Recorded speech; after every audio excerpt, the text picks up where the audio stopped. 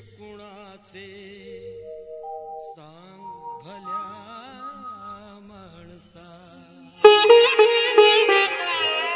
असो चूल माती आणि मीठ भाकर, नाम हरीचे मुखी गोड साखर, सोडून दे रे.